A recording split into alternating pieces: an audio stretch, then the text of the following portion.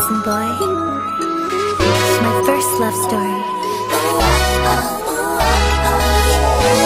My angel and my girls, my sunshine.